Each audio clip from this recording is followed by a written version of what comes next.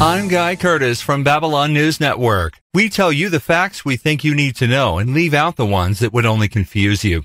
Our top story unrest continues in much of the country, with some describing what's going on as riots. Reporter Bob Howard is on the ground in Portland. What are you seeing, Bob? I think the term riot is just fear mongering. Yes, this is an energetic protest, but instead of focusing on a few scattered fires, we should. Were you just stabbed? Yes, but I've been here hours, and that's only the third time that's happened. So really, it's been peaceful 99% of the time, with just occasionally a knife plunged into me. But instead of worrying about that, we should be talking about the protest social justice message of. End violence now!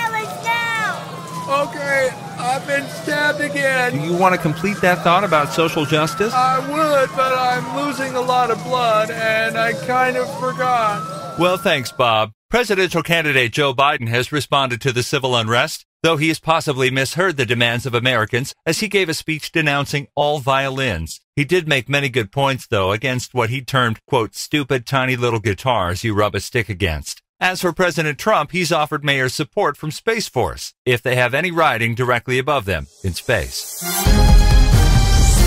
Now for business news. Legos have long been the bane of parents, causing intense pain for anyone who steps on them. To fight this, Lego has designed a much more humane brick that should instead instantly kill anyone who steps on it. Chalk one up for innovation. And now for movie reviews, we go to Stewart Stringer. My pronouns are he, him. Got it. So, New Mutants came out, but you had to go to a theater to see it, and you could get COVID at the theater, so I stayed home where it's safe.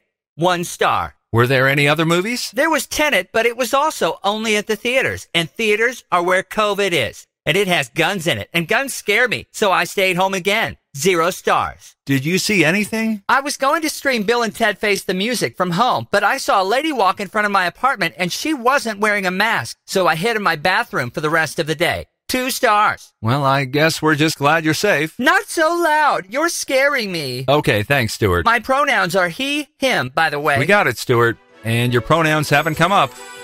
That's it for now. I'm Guy Curtis. Until next week, remember that if you see any fake news, kill it and burn its body. You're not wearing a mask. I'm 20 feet away.